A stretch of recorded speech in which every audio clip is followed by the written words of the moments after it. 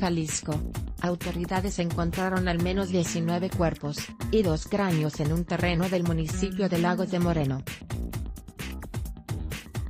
Los restos encontrados corresponden a 16 varones y 3 mujeres, con aproximadamente cuatro meses de haber fallecido, informaron las autoridades.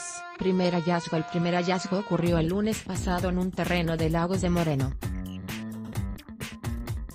Las labores continuaron durante martes y miércoles, cuando la autoridad informó sobre el hallazgo de 19 cadáveres y dos cráneos. Las autoridades no descartan que las víctimas pudieran ser habitantes de la localidad, ya que se han registrado varias desapariciones. Con este hallazgo suman 94 cadáveres encontrados en fosas clandestinas en Jalisco. Ocho días atrás fueron encontrados 16 cuerpos en una fosa a las afueras de Guadalajara.